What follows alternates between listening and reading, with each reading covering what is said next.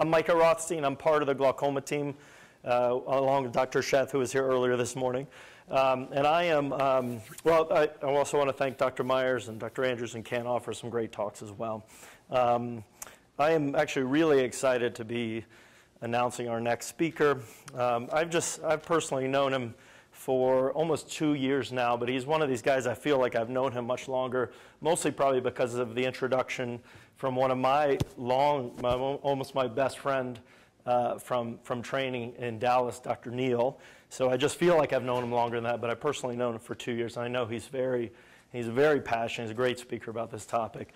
Um, you guys probably will not hear this anywhere else. It was pretty funny when, when he submitted his outline to COPE for approval. They didn't know what to do with it. They had never seen anything like this before.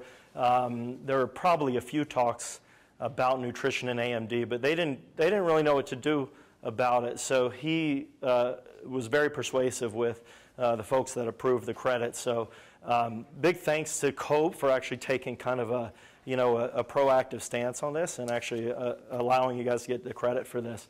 Um, but it's good. Um, Dr. Knobbe is um, coming back to Colorado after uh, actually doing medical school and residency at, uh, well, what's now CU Health. At the time was University of Colorado Health Sciences Center.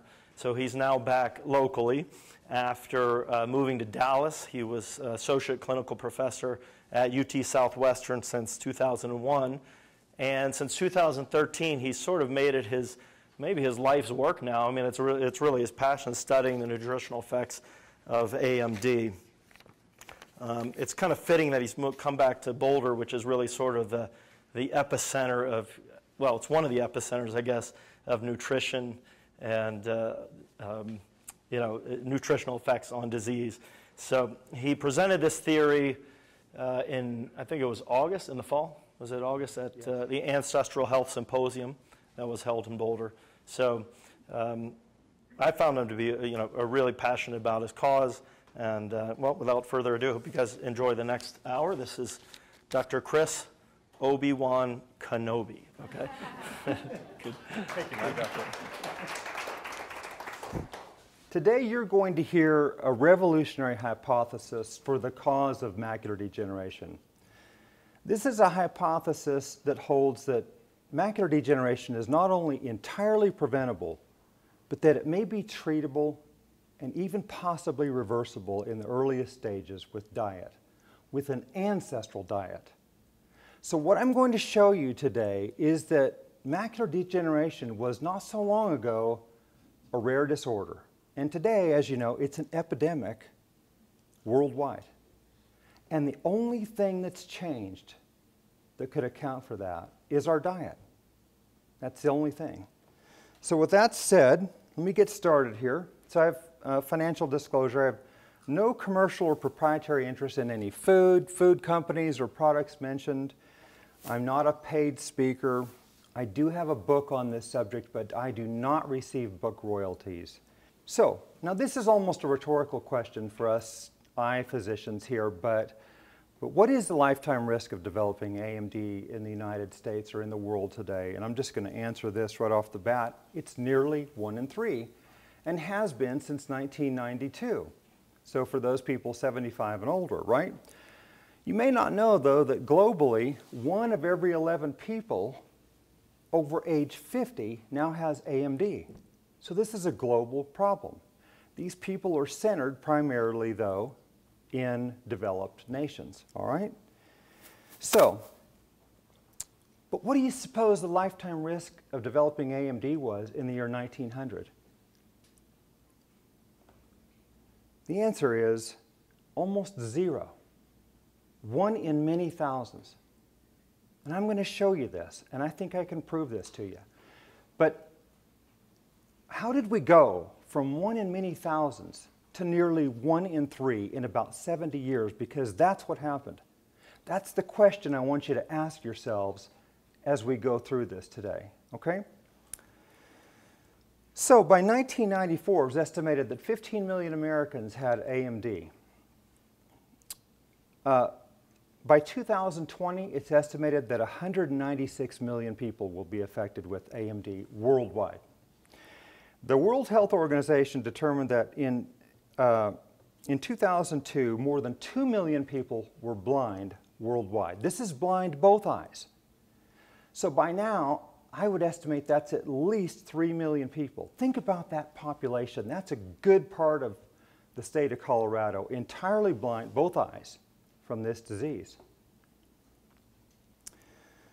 So here's the usual AMD progression, right? We go from normal to dry to wet, and then of course, vision might go from like it is here on the left to that on the right.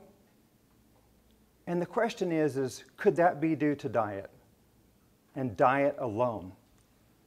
And I will submit to you today that I believe that it is. And I'll show you why. So we're going to talk about ancestral diets versus westernized diets.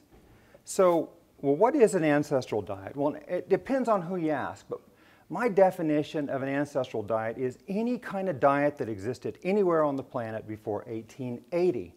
And the reason I say that is because before 1880, we had no processed man made foods with the exception of sugar. Okay? So these so the diet then, when you went to the grocery store, what you could come home with looked a lot like this. You could come home with meats, fowl, fish, eggs, fruits, vegetables, grains, nuts, and seeds, and that's about it, right? And interestingly, those foods would have been grown the way they should have been grown.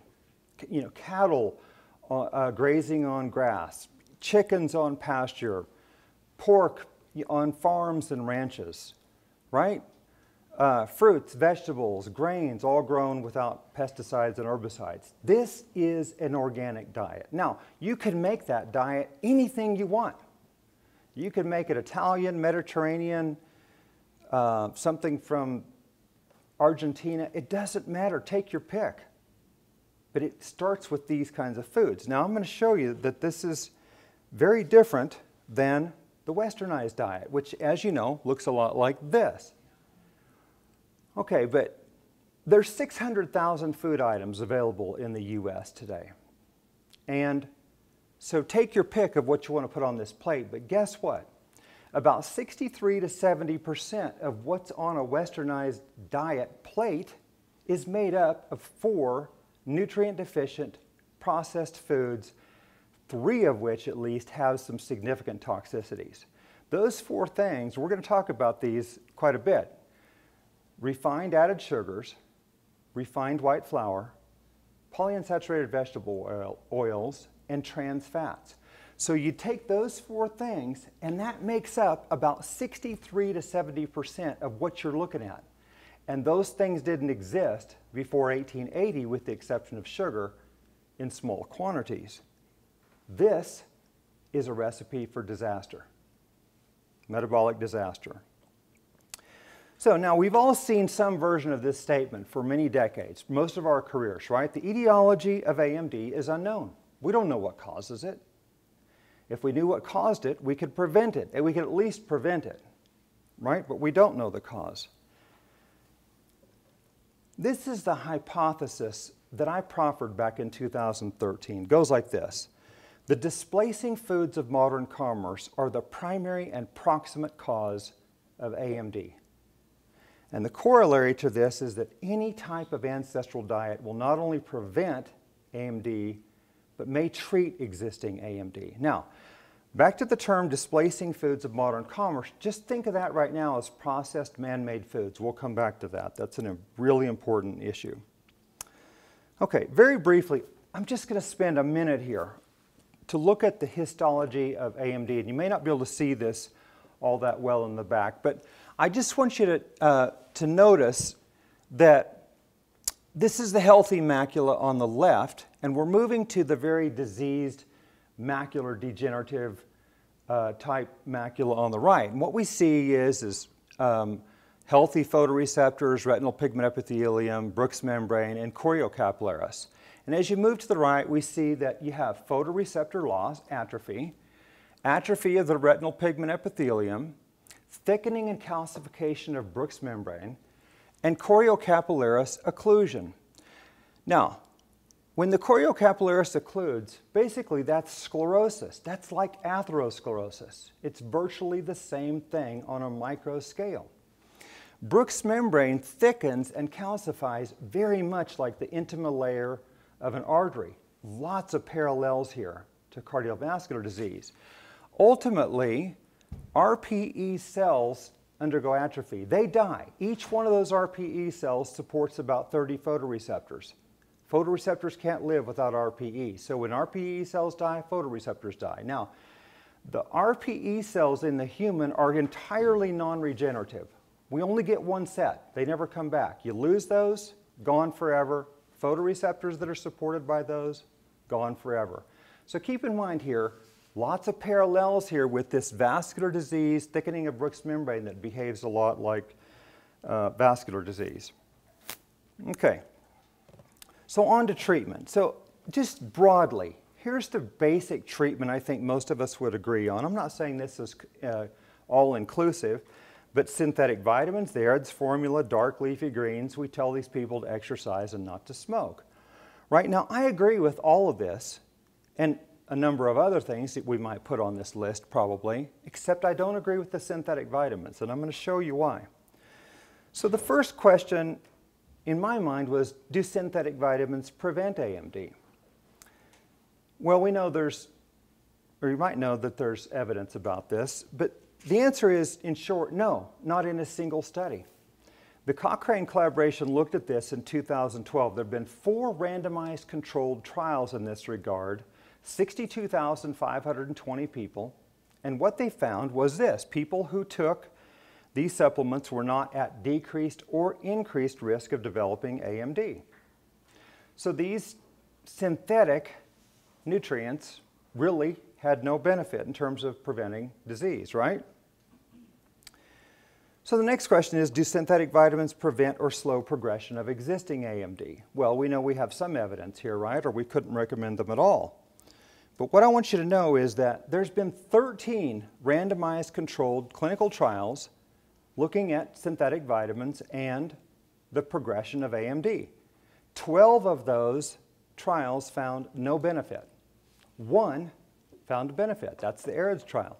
Now, admittedly, the AREDS trial was the biggest trial. It was, I think, 3,600 or so people, lasted about six years, right?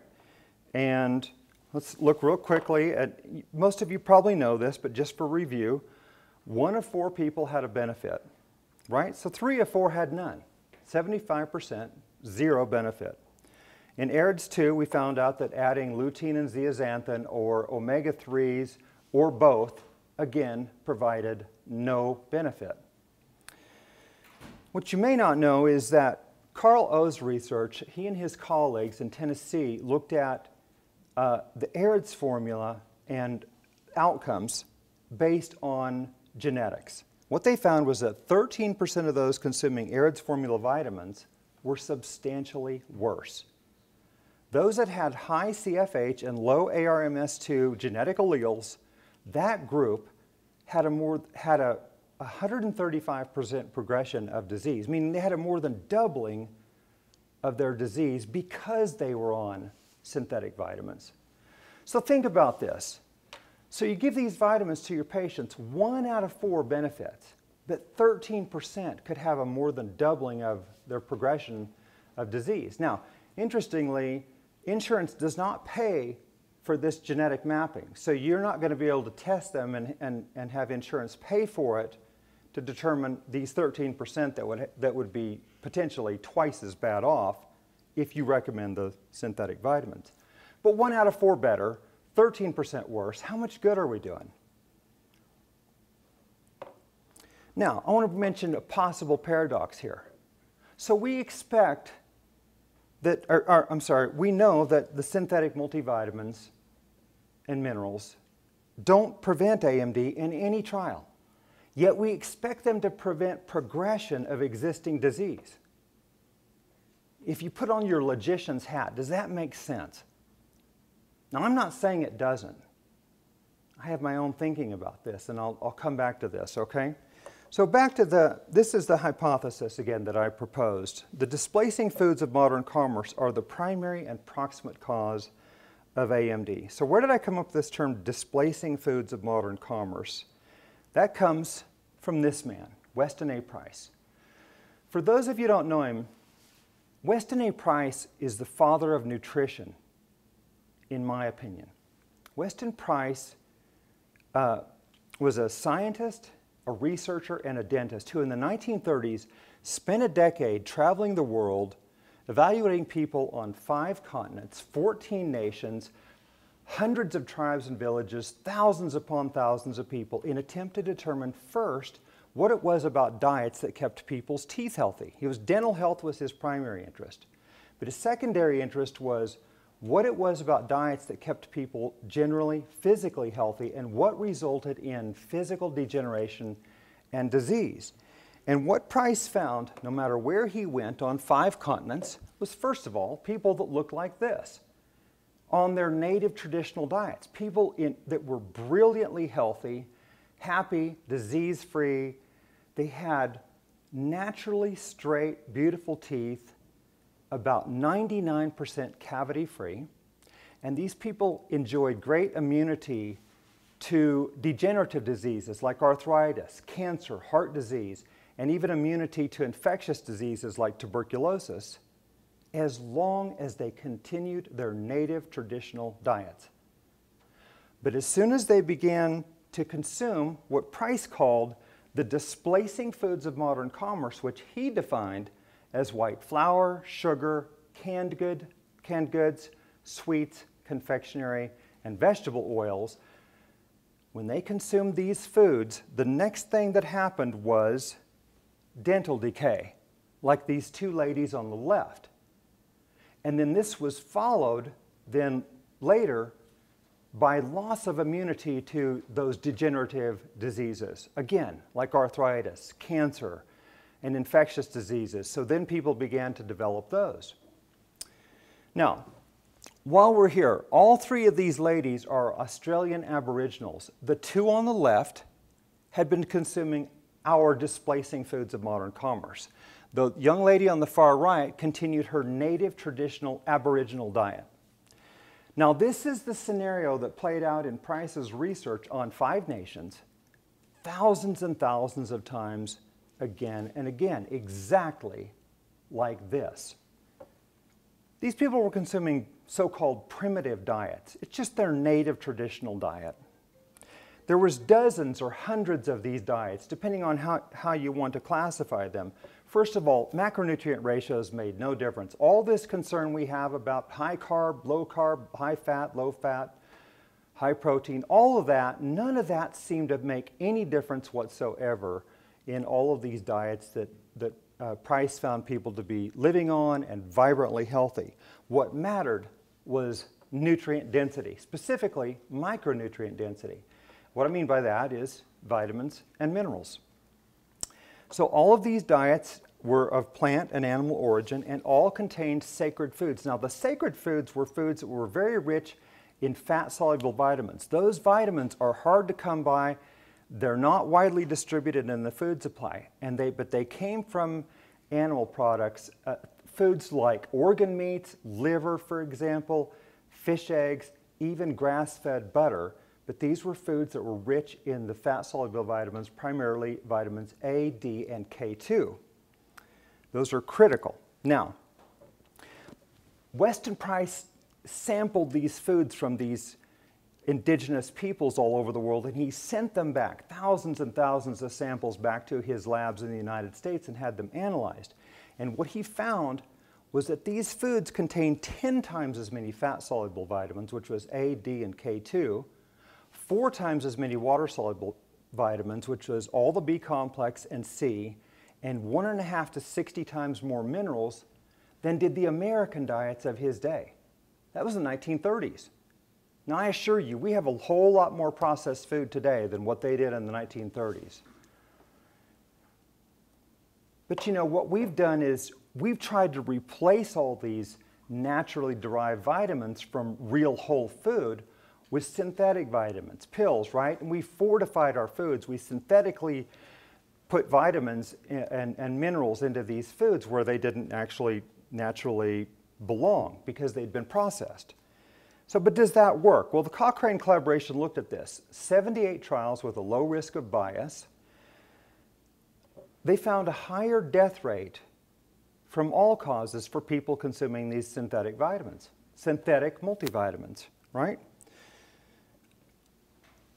The relative risk 1.04 fold. So, in other words, these people are a little less healthy and they die a little sooner when they're consuming synthetic multivitamins. Now, this is pretty interesting because you know the people taking consuming multivitamins tend to be the ones that are more health conscious anyway.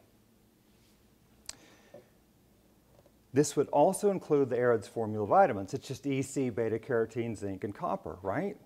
So this is a multivitamin. It fits into this category. Now, eventually, after Price's work, we have a whole boatload of research that has really strongly uh, correlated processed food consumption to what we now call, nutritionists call, diseases of Western civilization. Right? It's all these diseases heart disease, stroke, diabetes, cancer, metabolic syndrome, osteoarthritis, Alzheimer's, obesity, autoimmune diseases, and plenty more. So it's just a partial list. But all of these diseases connected to processed food consumption.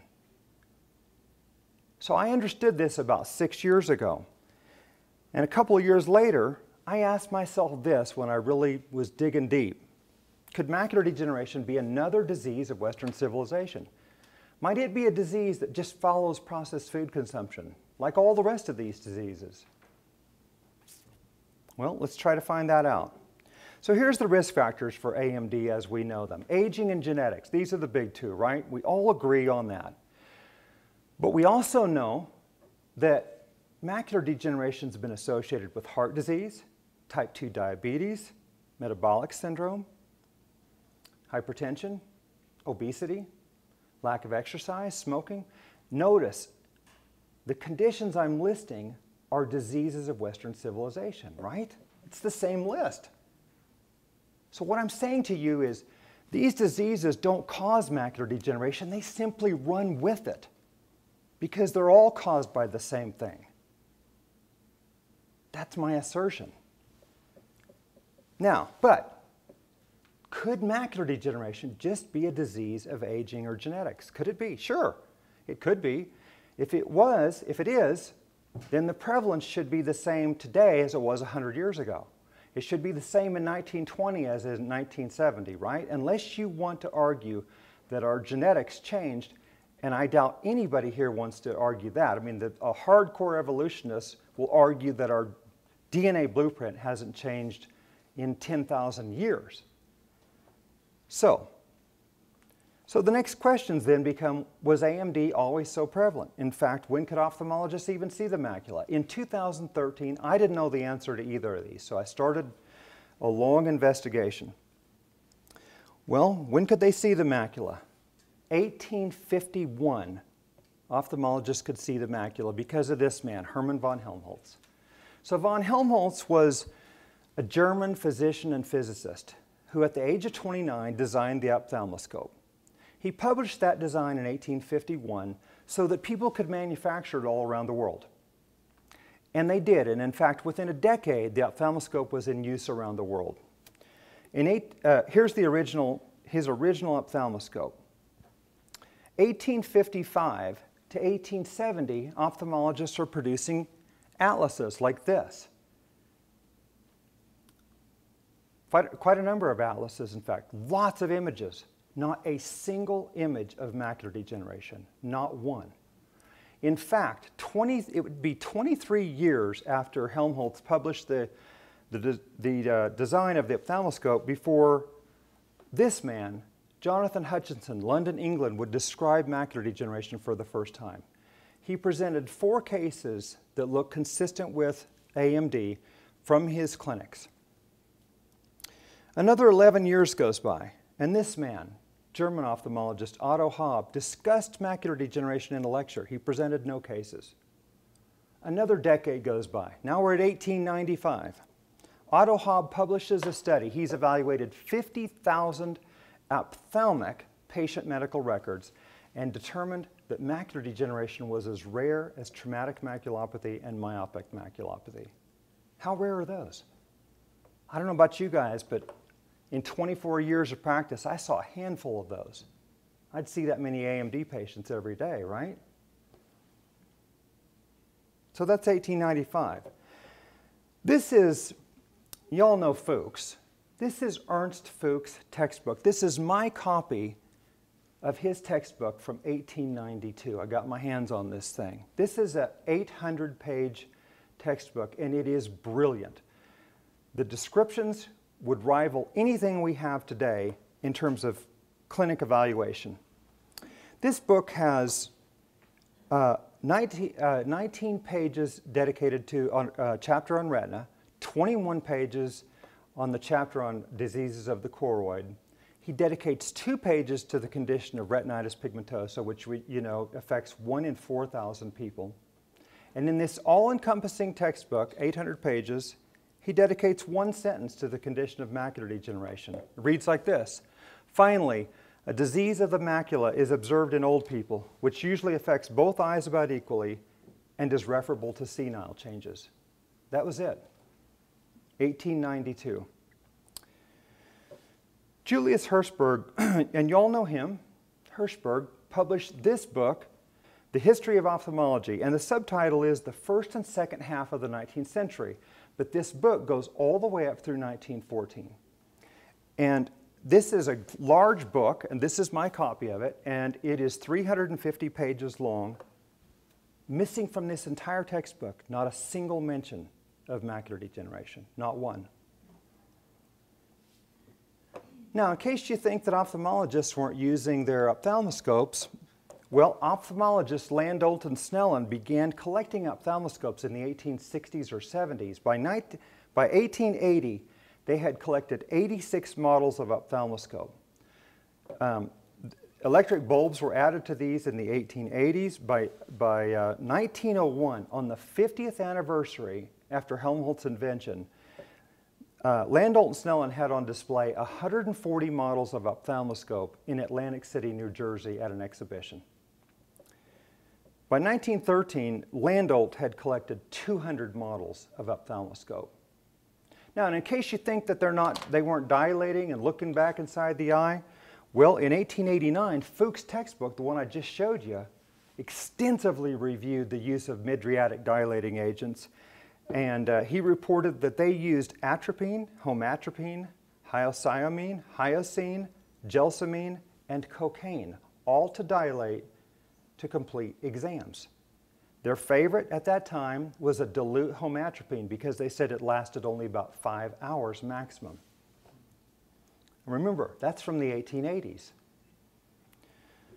Okay, so if we jump ahead to 1920, there were 4.9 million Americans over the age of 65. If the prevalence of AMD in 1920 would have been the same as it was here in 1990, there should have been 1.1 million people in the US with AMD, just in the US. Yet, there was no more than about 50 cases of AMD published in all of the world's literature at that point. 1927, this man, Sir Stewart Duke Elder, enters the picture. Now, y'all know Duke Elder. He became the dominant force in ophthalmology for about the next 40 years. In 1927, he published this textbook. I know that's hard for you to see back there. It's, it, this is my copy. It's called Recent Advances in Ophthalmology, 1927. This is a 340 page textbook. Um, not a single word regarding macular degeneration, 1927. In fact, in the introduction of this book, quote, the two major diseases of ophthalmology, cataract and glaucoma, are purely physicochemical problems, and he continues. Again, no mention of macular degeneration, not one. That's 1927. Now get this. 13 years later, in his next textbook of ophthalmology, 1940, he dedicates 13 pages to the condition of macular degeneration, 17 images, six of which are in full color, and he calls macular degeneration a common cause of failure in central vision in old people. So in the 1920s, he wasn't seeing AMD. He didn't even, I don't think he even knew about it. 1930s, he was seeing it, and it was significant.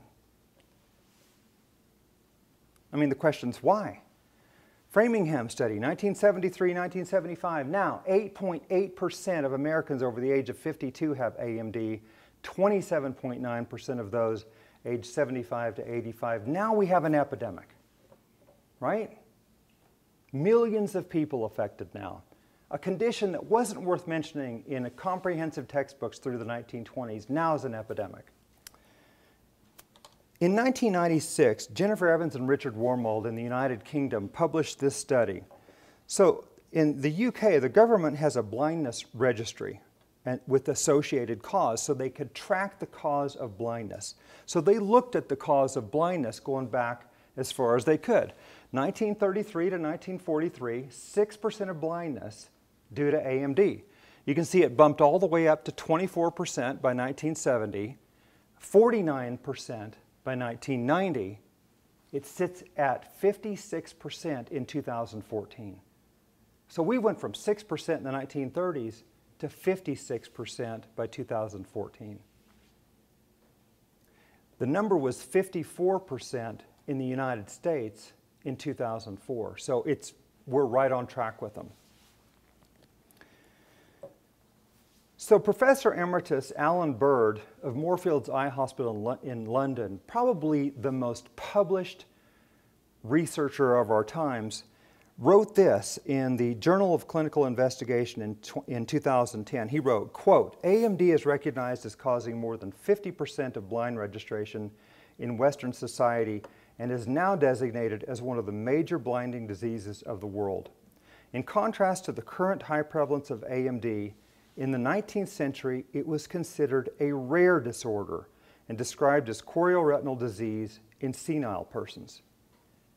He went on to say, there is evidence that the current increased prevalence of AMD cannot be fully explained by increased life expectancy. Furthermore, the disease is now recognized as a burden in societies in which it was considered rare 30 years ago. All right, he wrote this in 2010.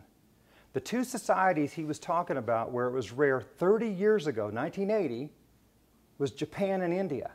And I'm going to show you Japan, and that's, that is exactly right. It was rare there in Japan and India in the 70s. So, by all accounts, I believe without a shadow of a doubt the prevalence of AMD is increasing and increasing drastically. Question is, why? What induced this? Well, you know what my answer is, right? Diet. So let's talk about the U.S. diet because, and it'll apply to the world as you'll see. Um, now, there's been four major processed foods, which we talked about briefly already, um, that have really changed the, picture of the world's diet forever. The, three of those were introduced between 1880 and 1911. So let's talk about those three first. The first, white wheat flour, introduced in 1880. Why? Because up until 1880, all wheat was ground on stone mills. That gave you the whole grain. In 1880, we got roller mill technology. Roller mill technology can shear away the bran and the germ, giving this refined white flours. Well, the bran and the germ uh, removing that effectively removes B vitamins, E vitamins, fiber, minerals, omega-3 and omega-6 fatty acids. So now you have a nutrient deficient food where you didn't before. Today, wheat is 20% of the world's diet. In the US, 85.3% of that is refined white flour. Loren Cordain's group showed this. So 85.3% of it is a nutrient deficient processed food, right? Second, vegetable oils, the PUFAs, polyunsaturated fatty acids. These were also introduced in 1880. So manufacturers then determined that they could take cotton seeds, which were a waste product, crush them, heat them, run them through a hydraulic press, and then subject them to this so-called batch refining. And in batch refining, which is a refinery type process, this mush goes in there and it's treated to a, a petroleum derived hexane solvent bath. Then they steam it, degum it, then chemically alkalinize it, bleach it, and deodorize it. Yes, all three chemically. And now we have something they say is healthy to eat. Right? You know what this is? A vegetable oil refinery. I mean, these massive refineries, I used to think these were just petro- for petroleum. This is a vegetable oil refinery. Well, you know why they're so huge is because 24% of the US calories, and, and, that, and a lot of the world is tracking the same, are getting, the, uh, that's where your food's coming from. 24% of it coming out of these. Do you think your food ought to be coming out of these? I mean, I don't. But, and this is why grocery aisles look like this. I mean, there's usually an entire section dedicated to these vegetable oils, which didn't exist before 1880. Now, these are extraordinarily oxidized products. They're, all of that heat and chemical treatment oxidizes these products severely. They're oxidized by the time they're poured into the bottle. Then you take them home. You cook with them, or your restaurant or your fast food place cooks with them. They oxidize further, and then you metabolize them. They oxidize again. This could be an entire lecture, and I'd love to do that. This is a huge topic, but these are incredibly dangerous and play a huge role in vascular disease. Um, I think these are the single most dangerous thing in our food supply. Again, because a toxin's all about the dose, and we're getting 24% of our calories this way.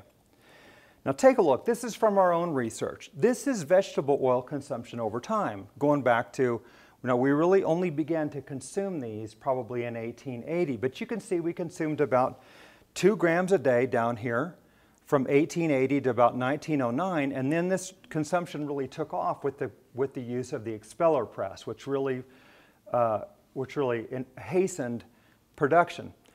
Uh, and, so by um, 2012, we're at 80 grams of vegetable oil per person per day. All right, now, in the year 1900, 99% of our added fats came from animal fat, lard, butter, and beef tallow. That's the only thing you could cook with, pretty much. 99% of it. Go up here to 2005, right up about here somewhere, 86% of our added fats came from vegetable oils.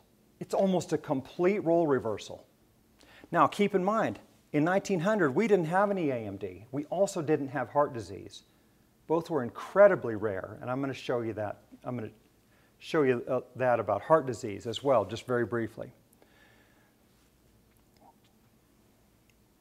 Okay, so our third nutrient deficient processed, in this case, entirely man-made concocted food, trans fats, introduced by Procter & Gamble in 1911 with this Crisco.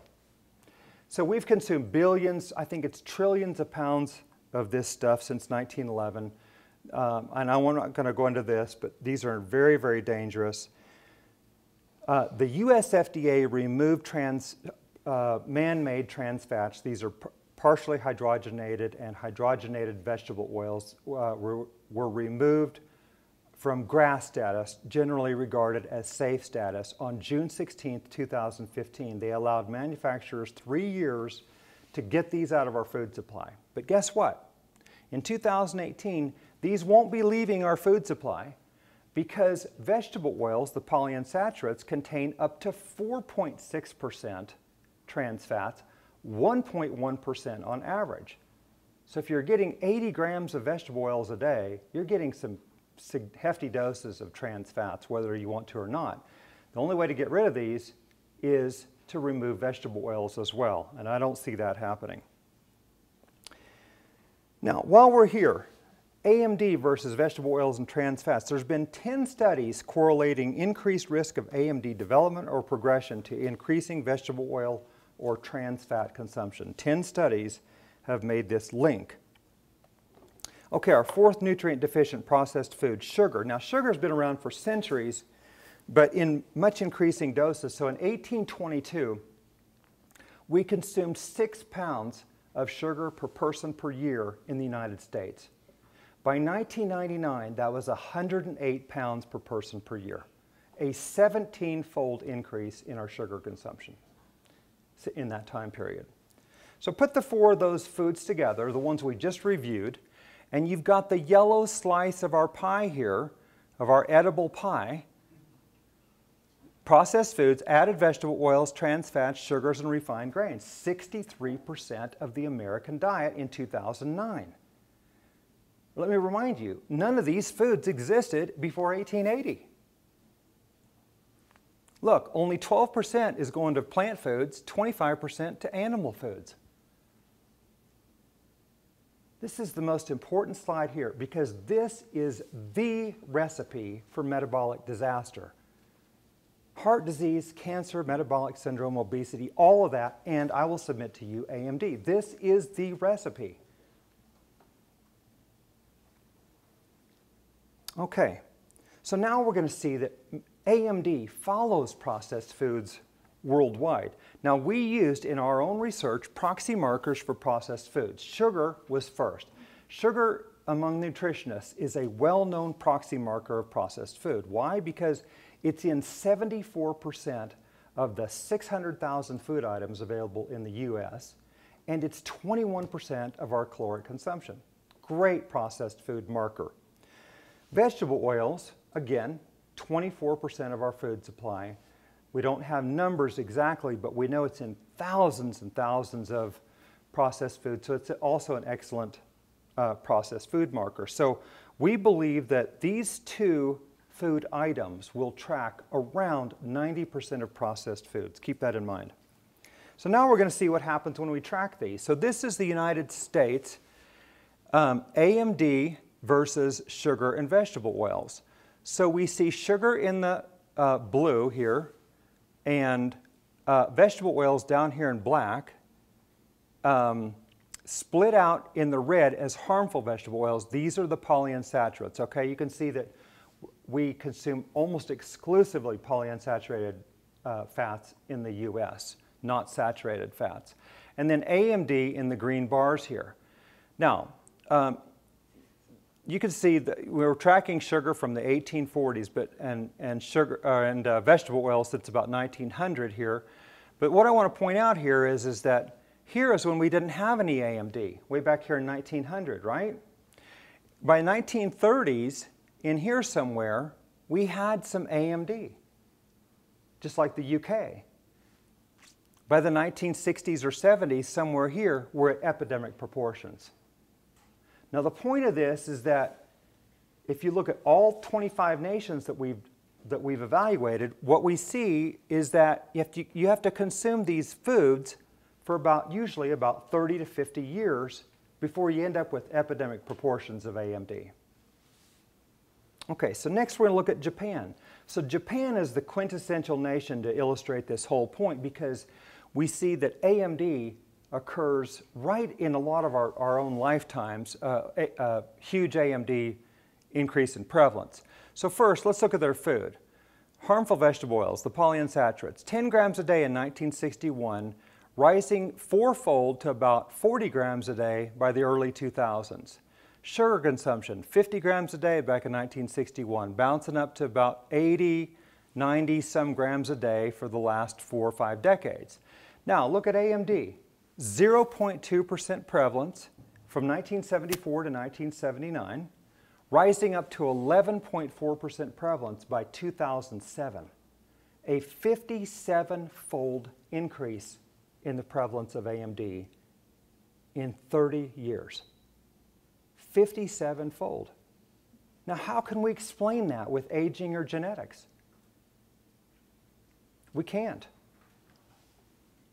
Okay, Nigeria is the next one we'll look at. In Africa, of course, and this is near this should be nearly, if not 100% African population. You can see their sugar consumption is really low. Vegetable oil consumption extremely low, the harmful vegetable oils. All right, and now their AMD prevalence very low, 3.2% in 2004. That's this first green bar. All right, so not pales in comparison to our 22.8%, right? Well, it should because they're consuming really low amounts of sugar and vegetable oils. Um, but this 3.2%, this gets more interesting. That was in Onitsha, Nigeria. That's a metropolitan population of 1.1 million people. You know what they have access to there? Grocery stores. That's where they're getting the processed food. Okay, now look at this little tiny blip over here in 2007. That's a 0.1% prevalence of AMD. This was in southwestern rural Nigeria. You know what these people don't have access to? Grocery stores, right. They're eating a native traditional diet. They can't get to the processed food. So keep this in mind, this 0.1% prevalence of AMD in these people of southwestern rural Nigeria who are Africans, because this gets really interesting. Here's the next one, Barbados. Barbados down in the Caribbean is a 97% African population. They came from West Africa, all right, that's their heritage. And I want to just tell you right off the bat, Barbados has been known for uh, five decades to be a processed food mecca. It's so much like Greenland and Iceland. They're importing all their food. They don't, they don't make anything local. They don't hardly eat anything from local. And you can tell by looking at this. Look at their sugar consumption 140, 180 grams a day. Massive. More than four times the World Health Organization's recommendations. Their vegetable oils climbing since the late 70s to 80s, 20 some grams a day in here.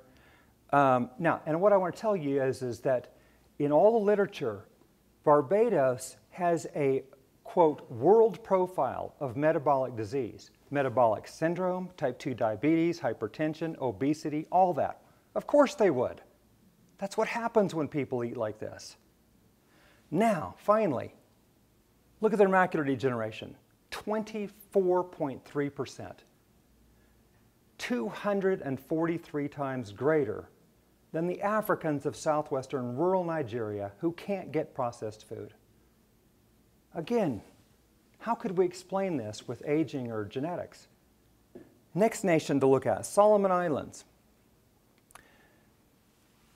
Look at their sugar consumption, very low, 20-ish grams a day since, the 19, since 1961. Harmful vegetable oils, zero since 1961. Look at their macular degeneration, 0.2% prevalence is what this is. This is a population of 630,000 people, Solomon Islands. They have three ophthalmologists for that entire population. Each ophthalmologist, reviewing their records, determined they'd seen about one AMD patient every two months over the last 10 years. Look what they don't have sugar and vegetable oils. So we have in the US at least 74 fold more AMD than they do. But you saw the difference in our food consumption. They can't get processed foods down there because the companies don't want to they don't want to ship it down there. These people are too poor to even buy it. They live off the land, basically. Very similar here in Kiribati. So Kiribati is an island nation located um, 1,250 miles directly south of, of Hawaii. It's 113,000 population. Um, very, very poor. They don't get hardly any processed food. They eat mostly fish and root vegetables, and, but they get a lot of sugar. Look at their sugar. It's bouncing around from 60 up to um, even up to 120 grams a day. But look at their vegetable oils. The harmful, none. 2015, their AMD prevalence about 0.2%. Now, this population of 113,000 people has one eye care provider, Dr. Rabib Takirawai, ophthalmologist, for the whole island. In 2015, he saw two patients with macular degeneration for the year. But look what they don't have vegetable oils and they really don't have much processed food at all except for their sugar. Now, very briefly, I want to look at uh, one study on AMD prevalence in uh, the little town of Salandra, Italy. This is Salandra is a little town located in the southern part of Italy in what's called the Basilicata region. Um, this, this is the picture of, the, of this, um, this little town. It's, it's located at the, at the at the top of a hill, at the end of a road, um, surrounded by farming community, 3,363 people when this study was done in 1989. And these researchers set out to, quote, test the hypothesis that an environmental factor scarce in such a remote community but ubiquitous in modern industrial societies might modify the risk of, of developing age-related maculopathy. This was one of the only studies done of, of, AMD prevalence that really carefully analyzed diet. I mean, carefully analyzed the whole diet. Most other prevalence studies, as you know, they look at race, age, genetic risk factors, geographic locale, but not diet. Okay, so in Salandra, they had 360, 366 subjects, 60 to 89 years of age. 87% were born and raised in Salandra. Both parents of 77% of them also born and raised in Salandra. So there's almost no immigration or emigration from this little town. So it's really great site to study AMD prevalence. So here's what they found. Researchers reported overall AMD prevalence as 1.1%. That it turned out to be two patients with discoid scars, uh, disciform scars, and two patients with geographic atrophy. Now, there were also two patients with soft drusen. So if you add these into the mix, which I did because this would make the study most consistent with the Wisconsin age-related maculopathy grading system, which we use here in the US, and that would bump up the overall AMD prevalence to 1.7%. Now this pales in comparison to the typical, say, 14 to 20 plus percent that you would find in most developed nations like the US, the UK, and even Italy, right? Very low prevalence of AMD at 1.7%. So let's see what they were eating. This is what the researchers said, quote, participants tended to use local food, resorting only occasionally to industrial shelf-available products. Most stated that bottled olive oil, daily, uh, I'm sorry, dairy products, meat, and vegetables were from their own resource or from local small farmers. The food consumed is produced and prepared locally and most is eaten fresh. Now, 99% never consumed bottled olive oil. Did they eat olive oil? You bet. They made their own. 85% never consumed packaged cheese. Again, they made their own. 74% never consumed cakes, 75% never consumed sausages, 89% never consumed frozen meat. They butchered according to need. They ate soon after they butchered their, the animals. 95% uh, never consumed frozen vegetables, and 99% never consumed pre-cooked packaged food. No TV dinners for these people. Here's the conclusions that I drew from this. These people are consuming a native traditional diet. I mean, this is like our diet was in the 19th century. Processed man-made foods are rare. Polyunsaturated vegetable oils, sugar, refined white flour, and trans fats all exceedingly rare. The result, AMD is bordering on rare. Okay, now I want to raise an issue here. Ancestral diets contain animal fat. Lots of it, potentially. Saturated fats, right? Is this a problem? I mean, some of you might still be concerned about saturated fats. I don't know. Let's just, I want to go through this real, real quickly. Here's some populations with high saturated fatty acid consumption and no heart disease. In Africa, the Maasai, the Rendille, the Samburu, and Fulani tribes all consume, they, these are pastoralists.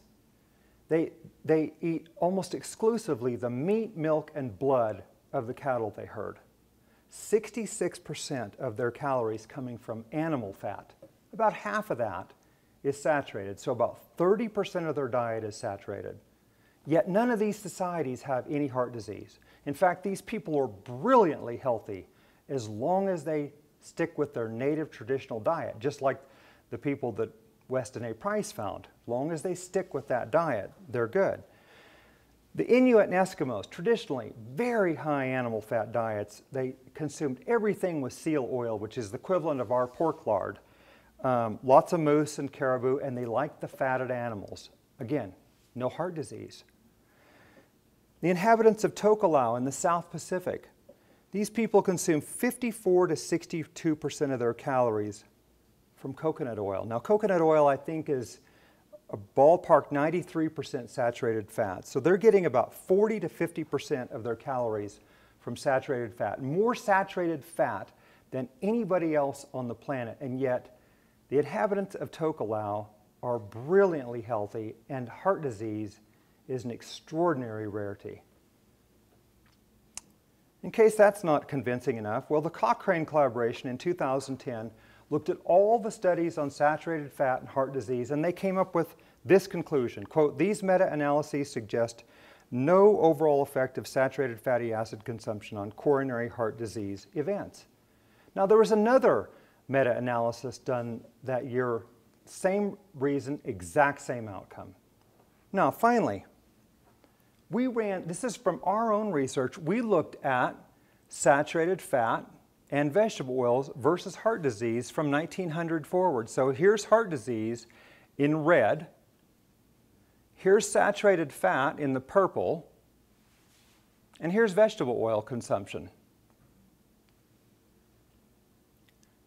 Now, I don't know about you, but I don't see any correlation between saturated fat and heart disease. But look at the correlation between vegetable oils and heart disease. Now, correlation is not causation. I'm very clear on that. But when diseases take 30, 40, and 50 years to occur, that, that's the incubation period for heart disease and for certain cancers and for macular degeneration, right? You're not going to have a double blind, randomized, controlled clinical trial that's going to last 40 years. The longest controlled clinical trial that was double blind and randomized that I know of was the LA Veterans uh, uh, Heart Disease Trial, eight years. That's the longest one on record. So, how do you evaluate this? Correlations, you have to really look at the world's laboratory. That's what Weston A. Price did. Okay, folks, I'm going to wrap up. So, AMD was a medical rarity from 1851 to 1930. I don't believe there's any question about that. By 1970s, it was epidemic in the US and the UK and other nations following suit as they all westernized their diets. Today, over 190 million people with AMD. What changed? What changed is the displacing foods of modern commerce. Now, we have evidence for proximate cause because if you look at our data in 25 nations, I've just given you a thumbnail sketch, but if you look at 25 nations, the, the processed foods always come first, then macular degeneration. It's never the other way around. The temporal relationship, again, about 30 to 50 years of consumption. There's a dose response relationship. You've seen it. The example, the perfect example was the, uh, the the Africans of southwestern rural Nigeria with a prevalence of AMD of 0.1%, where they can't get processed foods, versus the Africans of Barbados at 24.3%, where processed foods are the norm, right? If you look at all of our data, I think the relationship is nearly a mathematical certainty. Now, I want to specifically point out the PUFA vegetable oils because I believe these are the greatest contributor to AMD. I think these are biological poisons, and they're also carrying trans fats. I believe they're the single greatest contributor to irreversible blindness, period. But, not to lose the big picture, it's that the displacing foods of modern commerce are what lead to AMD. So I ask you, if you believe this hypothesis might have validity, to do your own investigation. Start learning more about this and consider this hypothesis. 196 million people are losing vision today, and another 90 million expected to the next, in the next 23 years by 2040. I believe it's all preventable. I want to thank you for your attention. It's been an honor and a pleasure.